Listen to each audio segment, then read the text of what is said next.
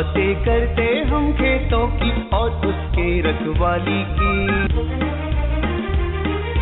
हम बीजों की बातें करते उत्तम जल संसाधन की।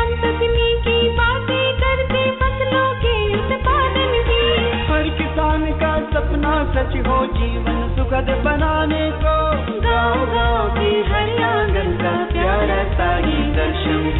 कृषि दर्शन कृषि दर्शन कृषि दर्शन कृषि दर्शन। कृषि दर्शन कृषि दर्शन कृषि दर्शन कृषि दर्शन। किसान भाई बहन मन नमस्कार जोहार। कृषि दर्शन कार्यक्रम में रौरमन के बहुत बहुत स्वागत है। स्वागत है और स्वागत रही। और हमेशा कहिला हम कि खेत हो या बारी पशुपालन हो या फुलवारी, हर किस्म के जानकारी रौरमन के कृषि दर्शन में मिलेला, है ने? तो अपन कार्यक्रम के आगे बढ़ाए से पहले, चलू, हमने देखा थी कृषि समाचार। नमस्कार, कृषि समाचार में आपका स्वागत है। मैं हूँ अर्चना। आइए देखते हैं आज कृषि समाचार में क्या है खास। बीजोपचार योजना से लाभान्वित हो सकते हैं कृषक। मल्चिंग विधि का प्रयोग कर किसान हो सकते हैं लाभान्वित। Open mill submersible pump सिंचाई कार्य को करता है आसान। कीट व्याधियाँ और रोग फ़सलों पर लगते हैं, जिस कारण कभी कभी किसानों को काफ़ी नुकसान उठाना पड़ता है। यदि बुआई से पूर्व बीजों को उपचारित कर लिया जाए तो 75 फ़ीसदी तक रोग व्याधियों और बीज जनित रोगों से बचाव किया जा सकता है। राज्य के कृषक सभी फ़सल की बुआई बीजों को उपचारित करके ही करें। इसके लिए राज्य में सीड ट्रीटमेंट कैंपेन यानी बीजोपचार प्रचार कार्यक्रम चलाई जाती है। किसान भाइयों खेती बाड़ी वैज्ञानिक विधियों द्वारा करना बहुत ही लाभप्रद होता है। ऐसा ही एक विधि है मल्चिंग मल्चिंग विधि का प्रयोग कर आप सिंचाई जल की बचत कर सकते हैं। इससे खरपतवार की समस्या कम होती है खेती बाड़ी में होने वाले लेबर एवं अन्य खर्चों को भी मल्चिंग कम करता है। और साथ ही उत्पादन लगभग डेढ़ गुना तक बढ़ता है। मक्के की फ़सल में स्वीट कॉर्न हमारे झारखंड के लगभग सभी क्षेत्रों में लगाया जाता है। जो किसान भाई इस समय स्वीट कॉर्न लगाने के इच्छुक हैं, वे स्वीट कॉर्न के उन्नत प्रभेदों का चुनाव करें। स्वीट कॉर्न के उन्नत प्रभेदों में सुगरी, पचहत्तर, मिष्ठी, माधुरी और प्रिया बेहतर माने जाते हैं। स्वीट कॉर्न ये प्रभेद कम समय में अच्छी उपज देने के लिए प्रचलित हैं। सुगरी, पचहत्तर, मिष्ठी, माधुरी और प्रिया स्वीट कॉर्न के उन्नत प्रभेदों में बेहतर माने जाते हैं और कम समय में तैयार हो जाते हैं। वर्तमान समय में इनकी बुआई की जा सकती है। एक हेक्टेयर भूमि में 10 से 12 किलोग्राम की दर से बीज पर्याप्त होते हैं। बुआई से पूर्व बीजों को उपचारित कर लेना अच्छा होता है। स्वीट कॉर्न के ये प्रभेद 80 से 85 दिनों में तैयार हो जाते हैं तथा 200 से 250 क्विंटल तक स्वीट कॉर्न की उपज पाई जा सकती है। अरहर की फ़सल में यदि फूल ज़्यादा लग रहे हैं और फलन कम हो रहा है तो संभवतः खेत में बोरॉन की कमी हो सकती है। ऐसी स्थिति में अरहर की फ़सल में बोरॉन का छिड़काव करना बेहतर होता है। विशेष परिस्थिति में कृषि विशेषज्ञ की सलाह अवश्य लें। खेती बाड़ी में सिंचाई कार्य को आसान बनाता है ओपन मिल समरसेवल पंप। यह पंप गहरे कुओं, तालाब, नहर इत्यादि से पानी खींचकर खेतों तक आसानी से पहुँचाने में सक्षम है। गहरे कुओं, दूर स्थित तालाब, नहर या अन्य जल स्रोतों से पानी खींचकर खेतों तक पहुंचाता है यह ओपन मिल समरसेवल पंप। यह पंप सिंचाई कार्य में लगने वाले मेहनत और मजदूरी की बचत के साथ समय की भी बचत करता है। कम जल उपलब्धता वाले जगहों में इसकी उपयोगिता बहुत है। यह उपकरण बाज़ार में उपलब्ध है। और अब एक नज़र राज्य के कुछ प्रमुख शहरों के मौसम के मिजाज पर। आज राज्य के कुछ प्रमुख शहरों के तापमान इस प्रकार दर्ज किए गए। रांची अधिकतम 34 डिग्री सेल्सियस, न्यूनतम 20 डिग्री सेल्सियस। देवघर अधिकतम 37 डिग्री सेल्सियस, न्यूनतम 19 डिग्री सेल्सियस। जमशेदपुर अधिकतम 37 डिग्री सेल्सियस, न्यूनतम 22 डिग्री सेल्सियस। मेदिनीनगर अधिकतम 35 डिग्री सेल्सियस, न्यूनतम 20 डिग्री सेल्सियस। धनबाद अधिकतम 37 डिग्री सेल्सियस, न्यूनतम 19 डिग्री सेल्सियस। कृषि समाचार में आज इतना ही। ध्यान रहे, कोरोना अभी तक खत्म नहीं हुआ है। अब नए रूप में हमारे सामने है। इसलिए बचाव के सभी नियमों का पालन करते हुए सारे काम करें, सभी टीके अवश्य लगवाएँ। अगले अंक में फिर मुलाकात होगी नए कृषि समाचारों के साथ। तब तक के लिए दीजिए इजाज़त। नमस्कार, जोहार।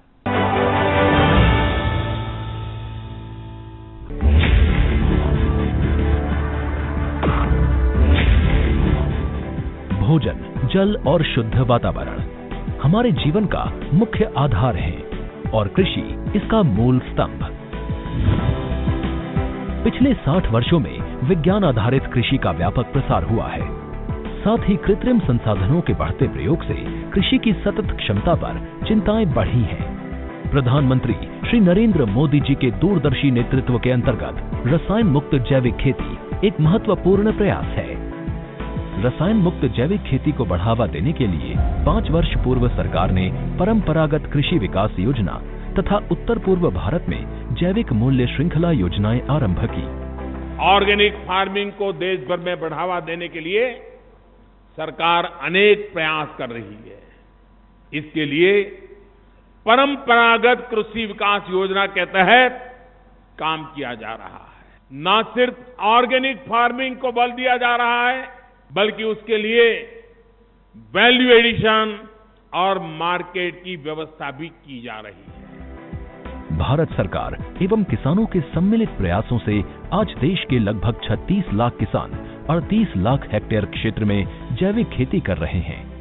इसके अतिरिक्त हमारे देश के अनेक ऐसे क्षेत्र हैं जहाँ आज भी पारंपरिक जैविक खेती हो रही है। इन पारंपरिक जैविक क्षेत्रों को जैविक प्रमाणीकरण सुलभ कराने हेतु पीजीएस के अंतर्गत लार्ज एरिया सर्टिफिकेट का प्रावधान किया गया है। इस प्रक्रिया की विशिष्टता ये है कि इसमें प्रमाणीकरण मात्र दो से तीन महीनों में हो जाता है, जबकि सामान्य परिस्थितियों में इसमें दो से तीन वर्ष का समय लगता है। अंडमान निकोबार केंद्र शासित प्रदेश के कार निकोबार एवं नैन काउरी द्वीप समूह देश के सर्वप्रथम ऐसे प्रमाणीकृत जैविक क्षेत्र हैं। अभी हाल ही में संपूर्ण लक्षद्वीप को जैविक खेती के रूप में प्रमाणित किया गया है। वर्ष 2016 में सिक्किम राज्य पूर्ण जैविक कृषि राज्य के रूप में प्रमाणित हो चुका है। सुदूर उत्तर में हिमालय श्रृंखला के बीच स्थित लद्दाख ने भी पूर्ण जैविक के लक्ष्य की ओर बढ़ना शुरू कर दिया है।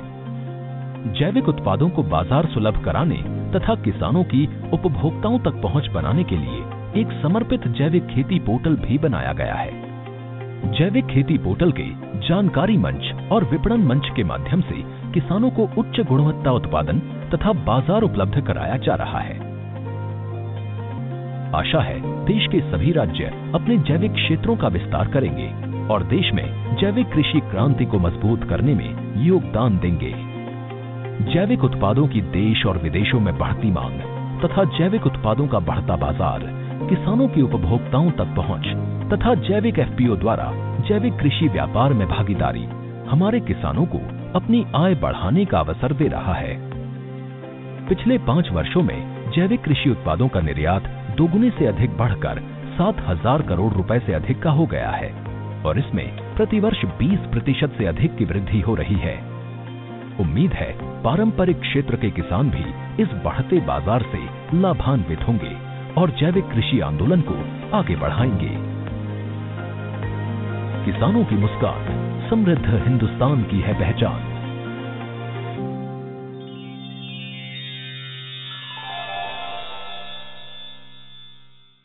किसान भाई बहन मन, विराम के बाद रोर में फिर से स्वागत है। चलिए अपन कार्यक्रम के आगे बढ़ाती जानकारी को। और आज का जो जानकारी है कि झारखंड में गर्मा मक्का कर खेती और कर प्रभेद कर बारे में। तो किसान भाई बहन मन जे भी किसान भाई बहन मन, गर्मा मक्का कर खेती करा था और प्रभेद कर जानकारी न खे तो चलू, रौरो मन के सीधे हम फीचर कर माध्यम से ही इकर जानकारी दुआ थी। मक्का को विश्व में खाद्यान्न फ़सलों की रानी कहा जाता है, क्योंकि इसकी उत्पादन क्षमता खाद्यान्न फ़सलों में सबसे अधिक है।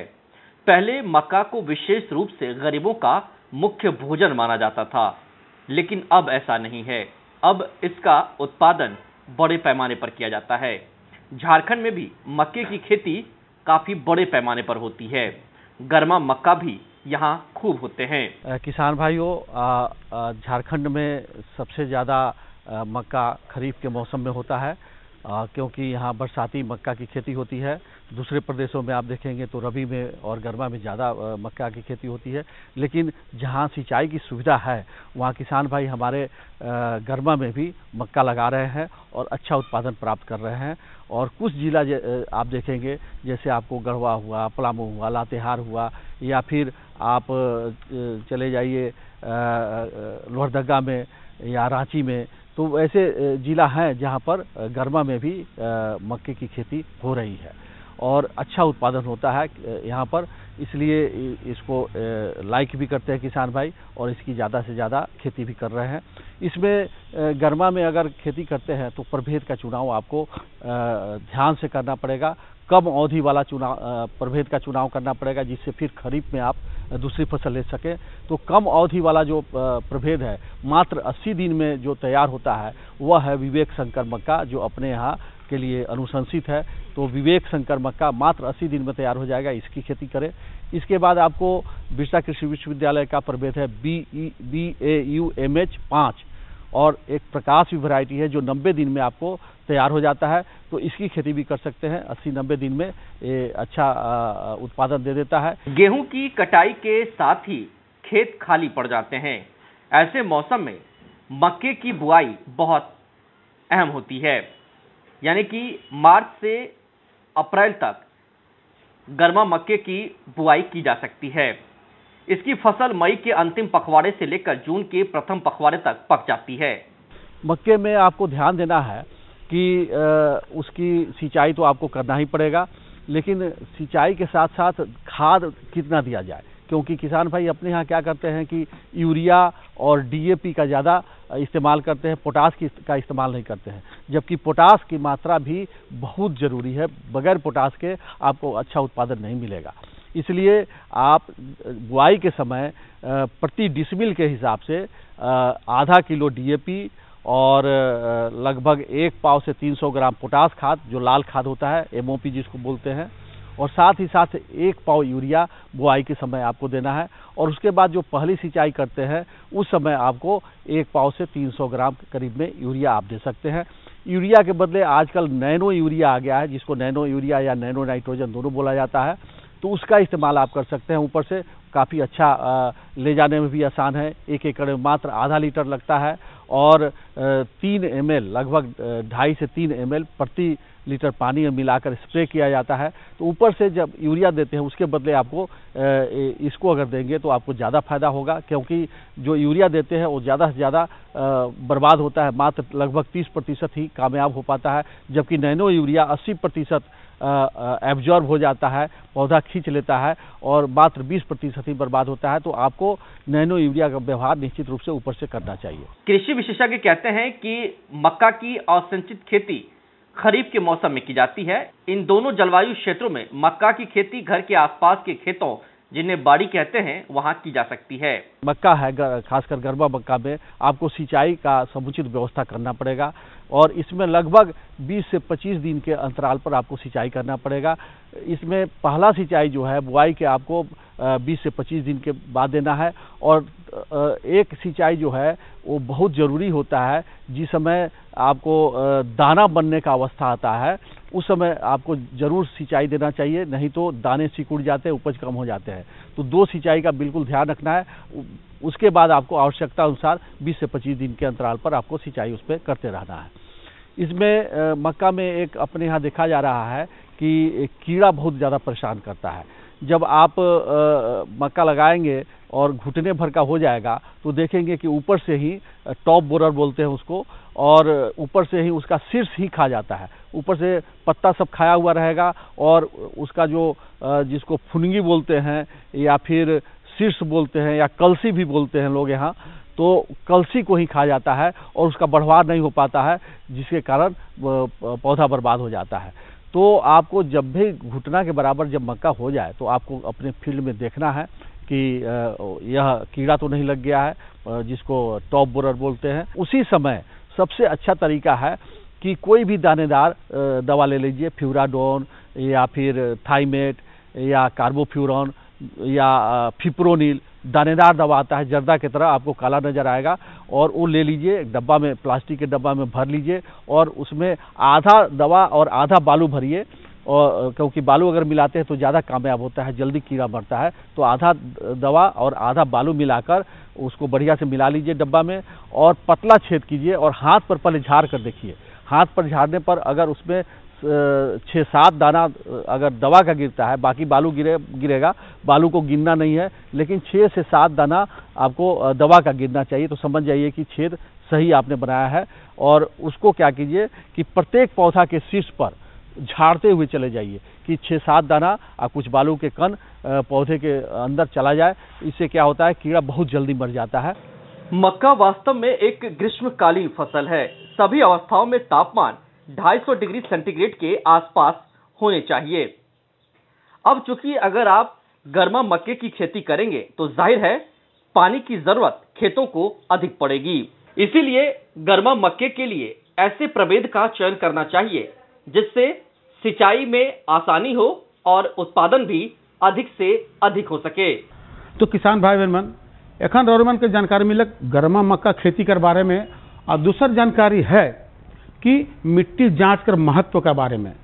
तो ये हर किसान भाई बहन मन के जानना बहुत ज़रूरी है कि मिट्टी जाँच से का फ़ायदा होएला, है ना? देखो, माटी से आदमी का जीवन जुड़ल है जंगल है, खेत है, बारी है, माटी कर बिना कृषि तो भाई संभवे न है है नहीं? तो चलू, इकर में माटी जाँच कर विषय में जो जानकारी चाहिए तो सीधे हम चलती हमारे कर जो विशेषज्ञ साहब हैं उनकर से जानकारी ले आज के अंक में हम किसान विकास केंद्र, मांडू, रामगढ़ पहुँचे हैं, और यहाँ डॉक्टर इंद्रजीत कुमार जी से हम मृदा स्वास्थ्य जाँच के महत्व के बारे में जानेंगे। तो आइए स्वागत करते हैं डॉक्टर साहब का। डॉक्टर साहब, स्वागत है आपका कार्यक्रम में। झारखंड की अगर यदि हम बात करते हैं तो एक ज़िले को छोड़ करके तेईस जिलों में पूरी तरह से अम्लीय मिट्टी पाई जाती है। और आ, मिट्टी की जाँच का बहुत ही महत्व है। यदि मिट्टी की जाँच नहीं करते हैं तो हमारे किसान भाई नाइट्रोजन फास्फोरस पोटास अब सीधा सीधा आप बोल सकते हैं यूरिया। यूरिया को हमारे किसान भाई यहाँ सल्फेट बोलते हैं। वो किसी और दूसरी खाद को कम प्रयोग करते हैं, लेकिन यूरिया का प्रयोग करते जाते हैं। इतना करते हैं कि अधिक मात्रा में प्रयोग करने से फ़सलें गिर जाती हैं। तो इसके लिए हम किसान भाइयों को सबसे पहले सलाह देंगे कि मृदा जाँच मृदा जाँच कैसे वो कराएँ?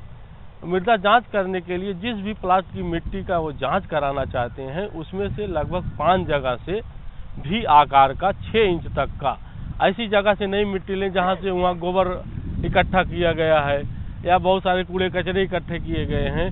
तो इसलिए उनसे उस प्लाट से हम पाँच जगह से चारों कार्नर्स कार्नर्स मतलब ऐसी ऐसी जगह से ले सैंपल पहले ऊपर से थोड़ा सा साफ़ कर दें, घास वगैरह साफ़ कर दें। घास का, साफ़ करने के बाद भी के आकार का निशान बनाएँ। भी के आकार भी बना लेंगे तो उसकी मिट्टी जो है बाहर कर दें। तो और दोनों किनारों से जब भी उनका बन गया ऐसे तो इस किनारे से और इस किनारे से एक एक इंची मिट्टी, डेढ़ डेढ़ इंची मिट्टी नीचे तक ऐसे करके ले सकते हैं। और उस मिट्टी को पाँचों जगह की मिट्टी को मिला दें। पाँचों जगह की मिट्टी मिलाएँगे, लगभग पाँच के जी मिट्टी हो जाएगा। एक एक के जी एक एक जगह से लेंगे तो मिट्टी पाँच के जी हो जाएगी। उसको पूरी तरह से, अच्छी तरह से मिलाएँ। मिलाते मिलाते मिलाते उस मिट्टी को आधा कर दें। आधा करने के बाद उनको ढाई के जी मिट्टी बचेगा। फिर उस मिट्टी को पूरी तरह से मिलाएँ, फिर आधा करें। ऐसे करते करते मिलाते जाएँ और आधा करते जाएँ। जब उनके पास आधा के जी मिट्टी मिल जाएगा उसको वो एक प्लास्टिक का बैग में रख लें। लेकिन उसको पूरा महीन बारीक कर लें। करने के बाद जो है क्योंकि उनको दूसरी चीज़ ये भी बताना चाहेंगे कि बरसात के समय में ना लें। क्योंकि पंद्रह दिन पहले पंद्रह दिन आगे पीछे बरसात ना हुआ हो क्योंकि बहुत मास्टर हो जाता है। उस समय जब हम आ, मिट्टी का सैंपल लेते हैं तो उसमें गीला गीला ढेला टाइप का बन जाता है। बारीक करने में बहुत दिक्कत होती है। जब वो सूखे में मिट्टी आ, का सैंपल लेंगे तो अच्छी तरह से लेंगे। उसको वो टेस्ट के लिए मतलब उसका जो है जाँच के लिए कृषि विज्ञान केंद्र, जिला कृषि पदाधिकारी के यहाँ या ब्लॉक में जहाँ भी उनको सुविधा लगे, वो वहाँ जाँच कराएँ यदि जाँच कराएँगे तो उसमें जो मृदा स्वास्थ्य कार्ड उनको मिलता है, उसमें नाइट्रोजन, फास्फोरस, पोटास की कितनी मात्रा या सूक्ष्म पोषक तत्व की कितनी मात्रा उनको, जैसे मक्का हुआ, जो यहाँ की मुख्य मुख्य फ़सल है धान हुआ आ, आपका टमाटर हुआ बैगन हुआ उनको बता दिया जाता है सब्जियों में कितना देना है किस किस मात्रा को जैसे आपको यूरिया कितना देना है डीएपी कितना देना है पोटास कितना देना है या जिंक देना है कितना सल्फ़र कितना देना है उनको बता दिया जाता है। क्योंकि 16 प्रकार के पोषक तत्व पाए जाते हैं प्राथमिक पोषक तत्व में नाइट्रोजन फास्फोरस पोटास आता है और द्वितीय में कैल्शियम मैग्नीशियम सल्फ़र आता है। तो उनको इस मात्रा को बता दिया जाता है कितनी कितनी मात्रा में उन्हें देना है।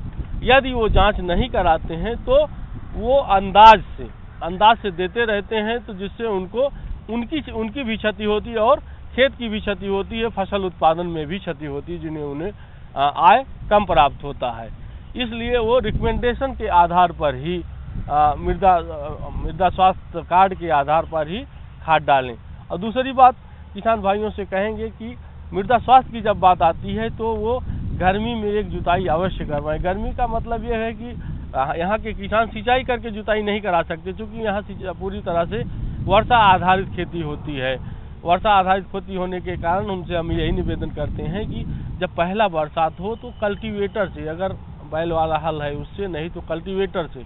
हमारे बहुत सारे किसान क्या करते हैं, रोटावेटर से जुताई करा देते हैं रोटावेटर से जुताई कराने से जो है बहुत ऊपर तक जुताई होती है, लेकिन जब वो कल्टीवेटर से जुताई करेंगे तो उनकी गहरी जुताई होगी। गहरी जुताई होने से जितने कीड़े, मकोड़े अंदर पिल्लू पड़े रहते हैं, वो चूँकि टेम्परेचर हाई होता है उस समय वो मर जाते हैं। गर्मी की जुताई बहुत आवश्यक है। गर्मी की जुताई के बाद उनके एक एक तरह से उनका खेत की मिट्टी उपचारित हो जाती और मृदा का स्वास्थ्य उत्तम हो जाता है। तो और दूसरी बात हमारे किसान भाइयों को ध्यान देना चाहिए बहुत सारे किसान भाई हमारे क्या करते हैं, उस समय गर्मी के समय में गोबर का खाद उनके गोबर गड्ढा से निकाल करके खेतों में डाल देते हैं। मृदा, उनके समझ में ये आता है, हमने भाई दो टेलर, चार टेलर हमने जो है गोबर का खाद डाल दिया अब ज़्यादा खाद देने की ज़रूरत नहीं है।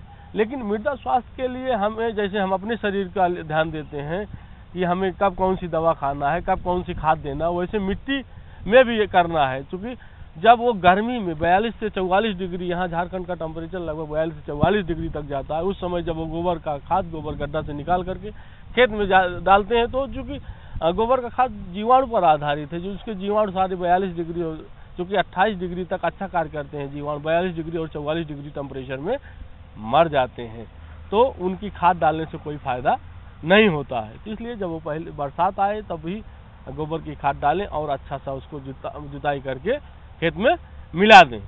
और इसके आगे बात आती है मिट्टी के स्वास्थ्य कैसे रखा जाए। जब बरसात आती है तो उनको क्या बोलते हैं? ढांचा। यहाँ पर जो है अभी हरी खाद की हम लोग बात करते हैं, जिससे जैविक कार्बन उनके खेत का जब बढ़ेगा तो उनकी फ़सल उत्पादन क्षमता बढ़ेगी।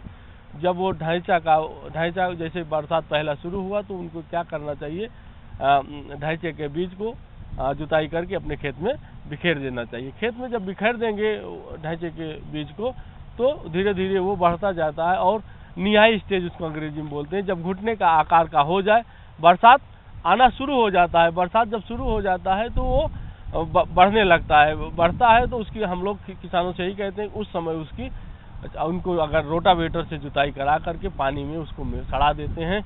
सड़ा देंगे तो उसके बाद उनके खेत की उर्वरा शक्ति इतना बढ़ जाएगी कि उनको रासायनिक खादों के प्रयोग की मात्रा कम करनी पड़ेगी और उनके मिट्टी का स्वास्थ्य बहुत अच्छा रहेगा। इस प्रकार से हमारे किसान भाई, मिट्टी की जाँच करा करके, जाँच के आधार पर अपने खेतों में उर्वरक डाल करके और हरी खाद का प्रयोग करके। हरी खाद का प्रयोग हमारे किसान भाई यहाँ बहुत सारे जानते ही नहीं। हम लोग कृषि विज्ञान केंद्र के में ऐसा प्रयोग करके किसानों को बुला करके उससे प्रशिक्षण दे करके बताते हैं कि इसका कैसे आप लोग बुआई करेंगे कैसे इसको सड़ाएँगे कैसे आपको ये फ़ायदा करेगा। क्योंकि जब हरी खाद उनके खेत में बन जाती है तो वो उनके मिट्टी का स्वास्थ्य जो है पूरी तरह से बदल जाता है। क्योंकि और तीसरी बात उनको क्या ध्यान देना है? गर्मी में मेड़बंदी करना है। मेड़बंदी जैसे बरसात होती मेड़बंदी यदि नहीं करते हैं तो मिट्टी के बहुत सारे पोषक तत्व तो, नीचे बहकर चले जाते हैं। नीचे बहकर चले जाते हैं तो उनके जो खाद, हरी खाद चाहे डाले हैं, चाहे वो जो है गोबर का खाद डाले हैं, धीरे धीरे धीरे धीरे लीज करके सब बहता चला जाता है और उनके पोषण, उनके उत्पादन में कमी आने लगती है। तो इन सब चीज़ों को उन्हें ध्यान रखना है कि हमके किस समय पर क्या करना है। ये बहुत उनके लिए महत्वपूर्ण है। तो देखो, आज के दौरे में दू गो जानकारी मिलक, गर्मा मक्का कर खेती और माटी जाँच कर बारे में। तो ई दुयो जानकारी दौरे कैसे लागलक? इकर बारे में बताना ज़रूरी है। सेले में पता के लिखू। पता है, कार्यक्रम कृषि दर्शन द्वारा केंद्र निदेशक, दूरदर्शन केंद्र, रातू रोड, रांची, और पिन कोड संख्या है आठ तीन चार शून्य शून्य एक। तो रेमान आज मनोज वर्मा के इजाज़त देव वकील यह दिना और यह बेरा। नवा जानकारी के साथ और उपस्थित हुआ, तब तक इजाज़त देव नमस्कार जोहार हम बीजों की बातें करते उत्तम जल संसाधन की। हम तकनीकी बातें करते फ़सलों के उत्पादन की। हर किसान का सपना सच हो जीवन सुखद बनाने को। गाँव गाँव की हर आँगन का प्यारा सा ही दर्शन। कृषि दर्शन कृषि दर्शन कृषि दर्शन कृषि दर्शन। कृषि दर्शन कृषि दर्शन कृषि दर्शन कृषि दर्शन।